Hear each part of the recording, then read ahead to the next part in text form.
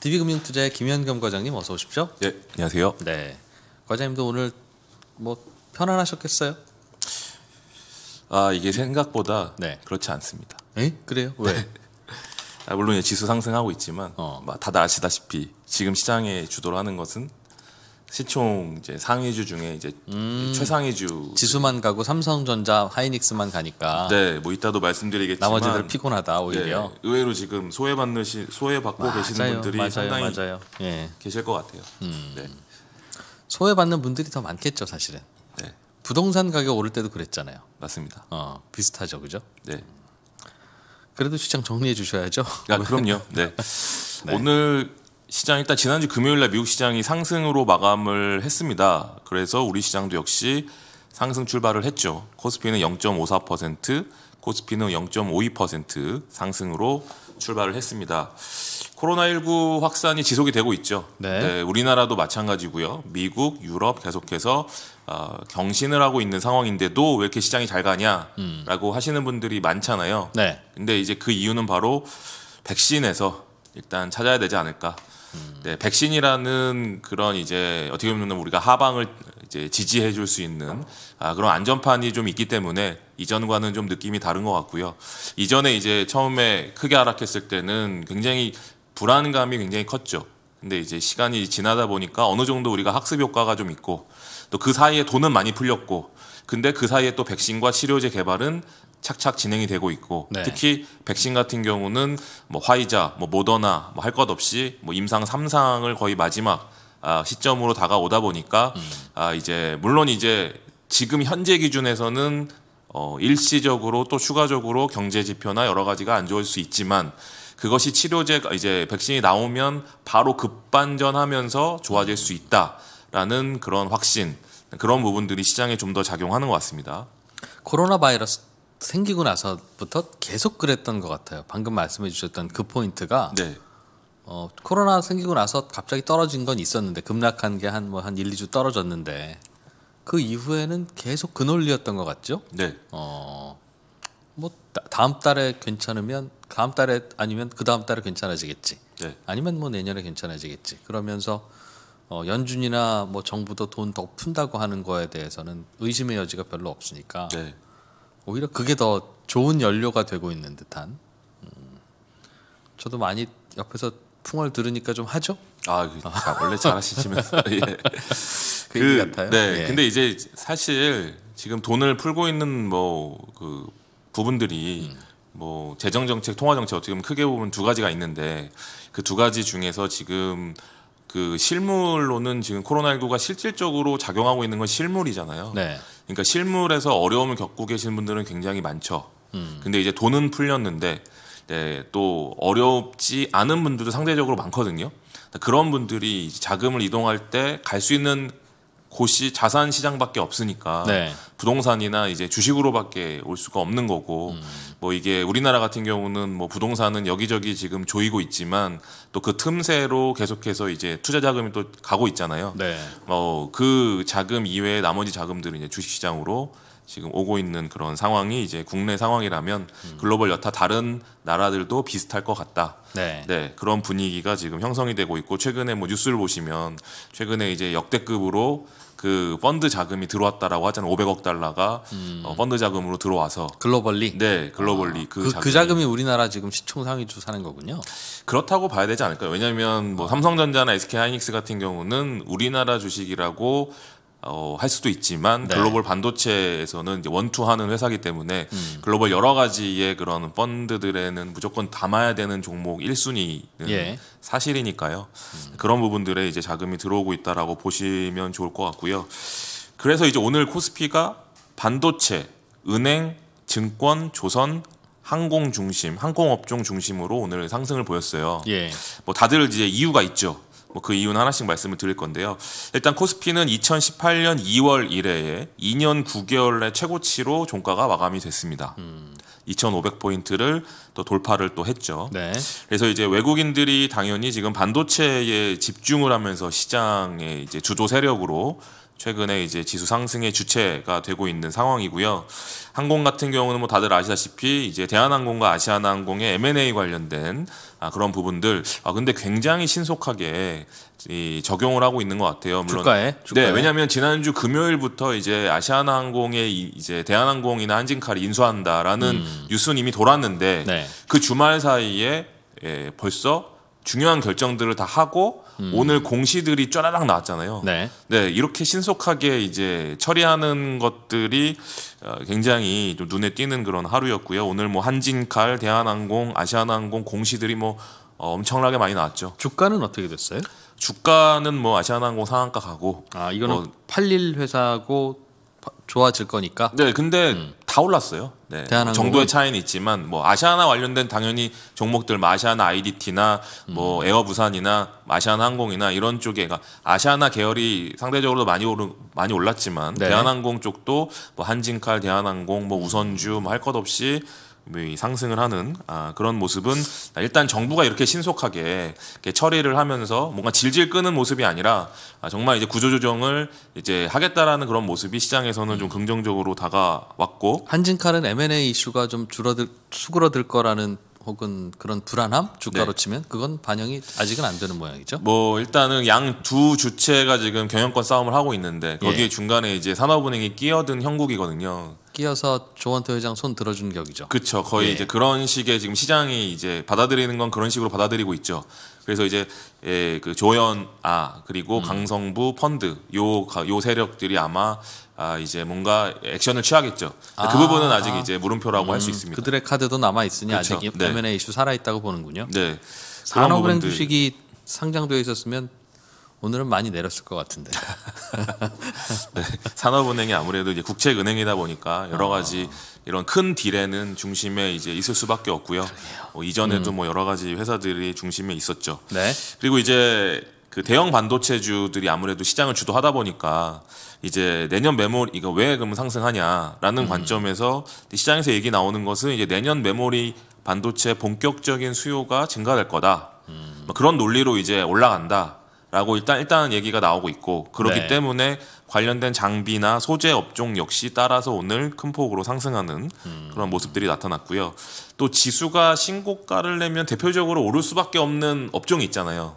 바로 이제 증권 업종이죠. 네. 그래서 오늘 이제 증권 업종의 종목들이 약 4에서 음. 12% 가량 굉장히 크게 상승하는 모습. 특히 증권주들이 올해 삼- 어, 실적이 굉장히 좋잖아요. 다들 이제 이제 동학개미라고 하는 개인 투자자들이 시장에 뛰어들면서 음. 네. 아무래도 여러 가지 이 증권주들에게는 굉장히 큰 호재로 다가왔고 실적으로 이것이 나타나는 그런 모습 속에서 온- 어, 최근에 크- 크게 상승을 하고 있는 그런 상황이 음. 증권주의 상황이고요. 내년에도 뭐 그리 나쁘지 않을 거라고 보는 모양이에요. 증권주가 올해가 꼭지지 내년에도 이만큼 좋겠나 하는 네. 뭐 그런 음, 우려 우려도 있었습리다만 일단 제일 중요한 게 이제 거래대금이죠. 네. 거래대금이 예전에 비해서 거의 두 배 이상 올라오다 보니까 여기에서 파생되는 뭐 신용융자 이 대출에 대한 이자, 예. 이자 수입과 그다음에 브로커리지 수입들 이런 것들이 이제 최근에 굉장히 또 중심이 되고 있고 네. 그 이외에 이제 법인 쪽에서 또 여러 가지 최근에 이제 증권사들이 벌어들이는 수입의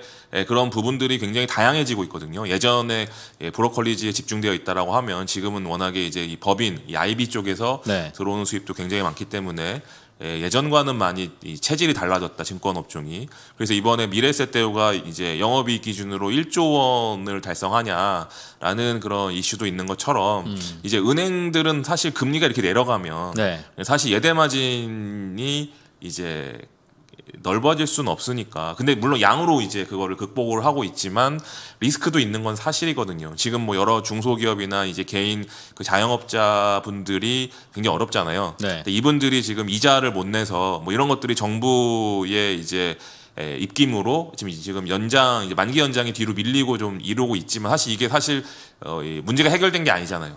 네, 시간이 지나면 다시 이제 나올 수밖에 없는 부실이기 때문에 이 부분은 아직 감춰져 있는 부분들이 은행들은 좀 많고 어, 거기에 비해서 증권업종은 다양한 그런 먹거리들이 많이 생기면서 예전에 비해서 어, 이제 굉장히 좀 달라지고 있는 그런 부분들은 분명히 있는 것 같습니다. 네.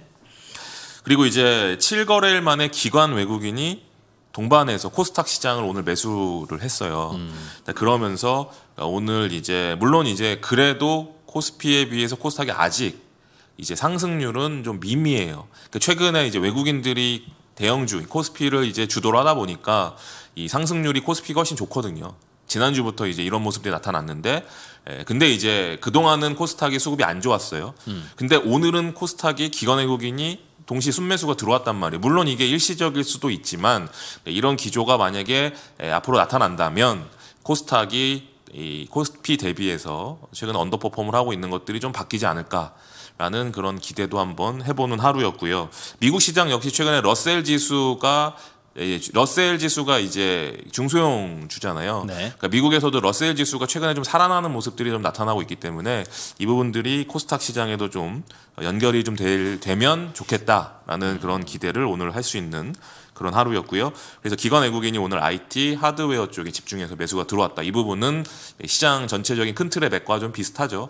네, 삼성전자, SK 하이닉스가 워낙에 상승을 주도하다 보니까 거기에 관련된 여타 장비나 소재 종목을 많이 샀고 그들 종목들은 IT 하드웨어 섹터에 들어가 있기 때문에 예, 이렇게 지금 나타난다라고 보시면 좋을 것 같고요. 국내에서 이제 코로나19 확산세가 지속이 되고 있죠. 네. 100명대에서 이제 200명대로 올라왔고 오늘 이제 400명대로 조만간 올라올 수도 있다라는 우려가 나타났어요. 이대로 가면 네, 이대로 가면 이, 아, 2, 3주 안에 400명대로 이제 올라온다. 그러니까 근데 중요한 건 추세인데 이 추세가 굉장히 안정적인 그런 차트의 모양으로 우상향을 하고 있거든요. 이 코로나19 이 확진자 수가. 네. 그렇기 때문에 예, 지금 이제 이렇게 이런 속도로 나가면 당연히 이제 우리나라도 어, 미국과 이제 유럽처럼 다시 이제 예전 어, 우려를 좀 많이 했던 시기로 좀 갈 수도 있고 그렇다고 하면 이 관련된 종목 중에서 네. 오늘은 이제 음압 병동 관련 주식들이 좀 크게 상승을 했고요. 지난주 금요일 날은 이제 뭐 교육주나 뭐 온라인 쇼핑이나 이런 종목들이 또 상승을 했잖아요. 근데 이제 연속적이진 않아요, 지금. 예전에는 아, 이런 지금 분위기였으면 연속적인 상승이 나타나 나거든요. 매일 오른다. 네. 근데 지금은 연속적인 상승이 안 나타나요. 그 부분은 아까도 말씀드렸듯이 이 백신에 대한 기대감으로 시장 전체가 이제 올라가고 최근에 올라가는 종목들은 좀 자산주, 저평가된 자산주, 가치주라고 하는 이런 자산주들이 올라가고 있기 때문에 예전 같은 그런 이제 탄력은 못 받고 있어요. 언택트 일단 힘 네, 빠졌다 언택트 이거죠. 음. 관련된 그런 이제 주식들이 그래도 돌아가면서라도 어, 최근에 이제 분위기는 좀 어, 좋아지는 그런 상황이다. 물론 이제 이게 예, 우리에게는 사실 좋은 얘기는 아니죠. 네. 그러네요. 예, 코로나는 좀 없어져야 되는 부분인데 확산이기 때문에 이제 주식 측면에서는 이렇게 오늘은 음악 병동 관련주가 올라갔고 백신이 이제 정말 개발이 되면 네. 중요한 게 이제 이 냉동 보관이잖아요. 그래서 콜드 체인 관련주들이 최근에 강세를 보였거든요. 네, 이런 것들은 이제 오늘도 좀 이어지고 있고 또 이제 백신이 막 보급이 되면 뭐 이제 한 사람이 한 번 맞아서 될 게 아니라 뭐 최소 두 번 뭐 이렇게 맞아야 된다라고 하잖아요. 뭐 그런 거 관련해서 뭐 주사기 관련주도 계속해서 강한 모습들이 나타나고 있습니다. 주사기요? 네, 주사, 주사기. 저희 주사기로 맞아야 되잖아요. 네, 주사기. 뭐 그런 얘기도 나오고요. 네. 뭐 이런 것들은 그냥 어, 예, 일시적인 테마니까 뭐 어, 너무 이렇게 집중해서 들으실 필요는 없을 것 같고요. 알겠습니다. 예. 지난 주말에 이제 RCEF라 아, 자, 죄송합니다. RCEP죠. 네. 영내 포괄적 경제 동반자 협정. 네. 이래서 이제 이게 사실 아세안 플러스 3국 한중일 아세안 그다음에 음. 여기에 호주와 뉴질랜드 요렇게 이제 구성이 된이 영내 포괄적 경제 동반자 협정이 이제 체결이 됐는데 여기에 대표적으로 수혜 업종으로 떠오르는 업종이 이제 의류 OEM 하는 회사들. 이들 회사들이 공장이 이제 동남아시아에 예. 이제 포진되어 있거든요. 예. 그렇기 때문에 이제 관세나 이런 데에 대해서 수혜를 받, 받는다 라고 하면서 이제 상승하는 그런 모습이 좀 나타났어요. 그 동남아 공장에서 만드는 의류는 선진국으로 수출될 거고 네. 그러면 선 유럽 미국 쪽하고 뭔가 관세가 깨져야 그러니까 없어져야 수혜일 텐데 사실 이제 이거는 아시아 뭐 지역에서 TPP라고 네. 또 하잖아요. 또 예. 미국을 주도로 한 미국, 일본을 주도로 한 아, 이런 이제 또 협정이 있고 이거는 이제 어떻게 보면 이번 협정은 또 중국이 음. 이제 중심으로 들어가면서 이제 나타나는 협정인데 양쪽에 다 가입되어 있는 나라들도 있잖아요. 네. 음. 뭐 일본이나 호주 같은 나라들은 양쪽에 다 걸쳐 있죠. 근데 우리는 이제 TPP 쪽은 아직 가입이 안 돼 있는 상황이죠. 근데 이제 들어가고 싶어 하는데 네. 과연 들어갈 수 있을지는 잘 모르겠지만, 그러니까 이렇게 요, 요새는 최근에는 이제 FTA나 뭐 여러 가지 이런 협정들이 다 겹쳐서 이제 연결이 되어 있는 아, 특히 우리나라 같은 경우는 그런 무역을 중심으로 하는 나라다 보니까 이 FTA를 굉장히 중요하게 생각을 하고 그 부분에 있어서 아, 이런 기업들이 꼭 그러니까 동남아를 제가 말씀을 드렸지만 뭐 네. 한세 실업 같은 데는 뭐 범- 이 중남미에도 공장들이 굉장히 많이 있거든요. 그러니까 이런 것들이 이제 이 수혜가 된다라는 이야기가 일단 나왔습니다. 우리나라 입장에서는 나머지 국가들하고는 이미 다 FTA가 개별로 다 되어 있어서 웬만한 나라들은 많이 되어 있죠. 일본하고 새로 이제 하는 그런 정도의 차이만 생긴다고 하더군요. 아, 그럴 수 있습니다. 예. 네. 그리고 이제 오늘 3분기 분기 보고서가 모두 발표가 됩니다. 네. 이미 다 나왔죠. 네, 오늘 6시가 6시 초반이면 이제 보- 보고서가 다 아, 나오기 그래요? 때문에 오늘 마감일이군요. 네. 그래서 이제 보유하신 종목 중에서 음. 어, 실적 발표를 아마 오늘까지 다 했을 거예요. 네. 그거를 꼭 확인을 하셔야 됩니다. 왜냐하면 이제 오늘 나오는 기업들은 아무래도 음. 실적이 좋은 기업들도 물론 있겠지만 좋지 않은 기업들이 많이 있기 때문에 네. 내일 이것이 이제 시초가에 좀 반영될 수 있거든요. 음. 그래서 그런 부분들을 좀 확인을 하실 필요가 있습니다. 3분기 분기 보고서 오늘까지 다 발표가 됐습니다. 예. 그리고 이제 외국인이 지금 시장을 주도를 하면서 오늘까지 11월 5일 이후부터 8일째 외국인이 사고 있어요. 이게 이제 누적으로 어, 4.71조 원, 거의 5조 원 가까이 지금 외국인이 매수를 하고 있는데 이 외국인들이 사는 종목 다들 아, 아시잖아요. 삼성전자와 SK 하이닉스 네. 요두 종목에만 무려 3.21조 원을 샀습니다. 전체 4.71조 원 중에서 3.21조 원이니까요. 거의 뭐 음, 대부분 70% 이것만, 이상, 예. 4분의 3을 지금 이 반도체 관련된 종목에만 집중적으로 외국인이 매수를 하고 있다. 음.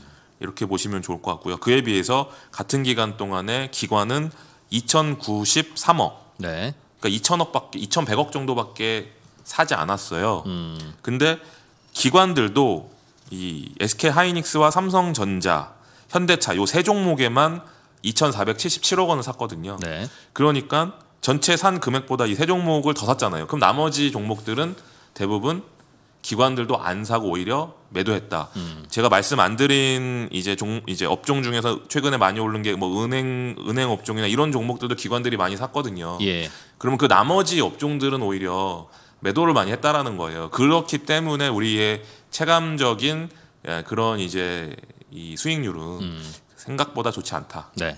네, 이런 것들이 수급에서 나타나는 그런 모습이고요. 그래서 오늘 코스피는 2,543.03 포인트, 1.97% 상승했고요. 코스닥은 847.33 포인트, 0.98% 상승을 했습니다. 예. 그러니까 코스닥이 코스피를 절반밖에 못 따라가고 있어요. 예, 예전과는 좀 다른 모습이죠. 원래 코스닥이 좀 더 상승폭이 컸는데 네. 코스닥이 이렇게 코스피를 못 따라가는 거는 코스닥의 시총 상위주들이 바이오 종목들이 굉장히 많잖아요. 네, 그래서 근데 지금 기관 외국인이 바이오 종목을 사는 게 아니죠. 그렇기 때문에 코스닥은 지금 좀 못 따라가고 있다. 네. 근데 이제 오늘 코스닥에서 기관 외국인이 양 매수를 했는데 이 양 매수한 종목들이 반도체 관련된 장비 소재 종목들이 더라. 근데 이들 종목들도 사실 예전에는 굉장히 시총 상위주들에 많이 있었거든요. 네. 근데 워낙에 바이오 종목들이 이제 아, 올라오다 보니까. 보니까, 얘네들이 예. 상대적으로 밀렸죠. 근데 이제 이쪽으로 돈이 들어오고 또 여기에 대장님들이 시- 지금 워낙에 시- 이제 신고가를 내고 있다면 어, 우리가 바라보는 눈을 어떻게 해야 되는지 한번 생각해 볼 거리가 있을 것 같고요. 그래서 이제 코스피는 오늘 상한가가 6종목, 상승 종목이 985종목, 네. 하락 종목이 431종목. 그러니까 2% 가까이 상승했는데도 불구하고 상승 종목이 하락 종목, 그러니까 하락 종목이 상당히 많았다. 네. 431종목이나 하락을 했기 때문에 뭐 말씀을 드릴 수 있을 것 같고 코스닥은 상승 종목이 723종목, 하락 종목이 554종목이에요. 네. 예, 그러니까 역시 그 코스피 코스닥 합치면 거의 천 종목이 하락을 했습니다. 예, 그러니까 상대적으로 이제 재미를 못 보고 오히려 소외를 받는 그런 분들이 좀 많이 있을 수 있다는 거죠. 그런 부분은 좀 아쉬운 부분이라고 말씀드리겠고요. 네. 그래서 코스피에는 오늘 외국인이 4,600억 정도 매수했고요. 코스, 어, 기관은 2,765억을 매도했습니다. 개인도 1,607억 원을 매도를 했고요. 코스닥 같은 경우는 외국인이 1,124억 원 매수, 기관이 1,035억 원 매수. 그러니까 기관 외국인이 다 1,000억 원 이상 매수를 했어요. 예. 이렇게만 이번 주에 계속 만약에 코스닥 시장으로 들어오면 어, 오늘은 코스피 대- 대비 절반밖에 상승을 못했지만 아, 이거 좀 달라질 수 있, 지 않을까라는 기대를 좀 해보는 한 주가 좀 된다 이렇게 말씀을 좀 드리겠고요. 거래 대금은 코스피가 워낙에 좋다 보니까 코스피는 18.7조 원 오늘 거래가 됐습니다. 예. 지난주 금요일 대비해서 1.9조 원 증가된 거의 코스피에만 20조 원 가까운 거래 대금이 지금 나타난다는 거고요. 네. 코스닥은 오늘 10조 원 정도 거래가 됐어요. 금요일 대비해서는 1.5조 원 좀 줄어든 그런 모습이고요. 원래 코스닥이 이전에 지수 좋을 때는 코스닥이 코스피 대비 거래 대금이 더 높았거든요. 네. 근데 지금은 거의 코스피가 두 배 가량 음. 코스, 코스닥 대비해서 거의 두 배 가까이 지금 거래 대금이 늘어났잖아요. 그러니까 이게 지금 시장을 대변해 준다. 네. 아, 그렇게 보시면 좋을 것 같고 그럼 이런 모습이 나타나는 것은 지금 성장주보다는 가치주 쪽에 좀 더 포커스가 맞춰져 있기 때문에 예, 이런 현상이 발생하는 거다.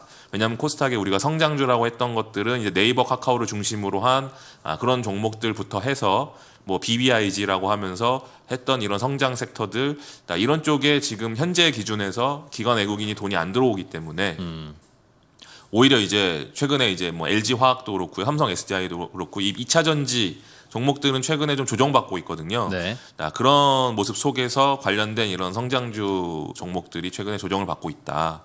뭐 그렇다고 해서 끝난 건 절대 아니죠, 당연히. 근데 이런 이제 순환 흐름이 지금은 가치주 쪽에 좀 더 포커스가 맞춰져 있고 이것은 바이든 당선 바이든 당선자 이후에 나타나는 현상이기 때문에 예, 무시할 수 없는 현상인 것 같고요. 그리고 또 연말이 또 다가오기 때문에 또 배당 관련해서도 무시할 수가 없거든요. 왜냐하면 이 기관 자금이나 이런 글로벌 자금들은 투자 수익을 낼 때 이런 배당 수익도 굉장히 중요하잖아요. 근데 최근에 우리나라의 이런 뭐 은행주나 증권주나 이런 종목들의 시가 배당률이 굉장히 높거든요.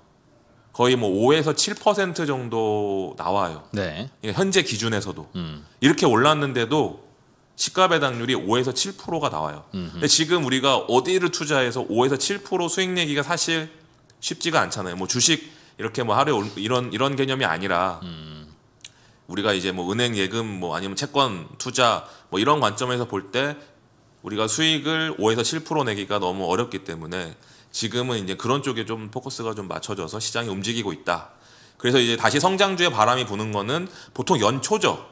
왜냐하면 연초에는 이제 정부의 그런 새로운 내년의 예산을 가지고 이제 집중적으로 투자할 만한 데들 이런 데들의 포커스가 좀 맞춰지기 때문에 그리고 배당도 이제는 1년 정도 지나야 되기 때문에 아무래도 성장주의 타임은 한 템포 좀 쉬고 빠르면 12월 뭐 중순부터 오거나 아니면 늦으면 12월 말에서 1월 달에 갈 때 이제 오지 않을까. 네. 그러면 아직도 한한 달 정도의 텀이 있죠.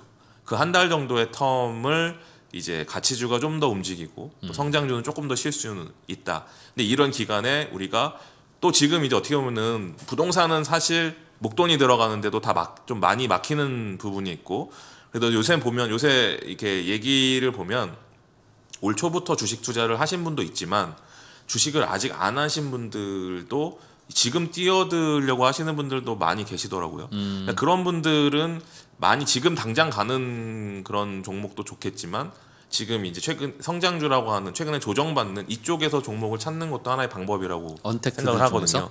꼭 언택트라고 하기엔 좀 그렇고요. 그러니까 성장 우리가 이제 패러다임이 변화하는 데 있어서 당연히 커질 수밖에 없는 그런 부분들 그런 데들 그런 데들이 사실 올해 이제 예, 좀 많이 올랐죠.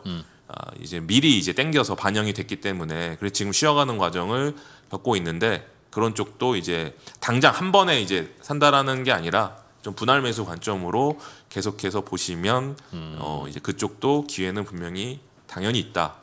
최근에 이제 ETF, BBIG 관련된 ETF가 계속 launching이 되고 있어요. 그러니까 이쪽이 지금 이제 launching이 됐기 때문에 여기에 이제 자금이 들어오면 그쪽 관련된 종목을 살 수밖에 없잖아요. 예. 네, 그런 트렌드들이 분명히 내년에 한 번 더 올 수밖에 없거든요. 그런 것들이 이제 지금은 약간 좀 공백기이기도 하고 약간 이제 가치주에 좀 쏠려 있는 그런 모습에서 이제 삼성전자가 그거를 이제 피날레를 좀 보여주고 있다.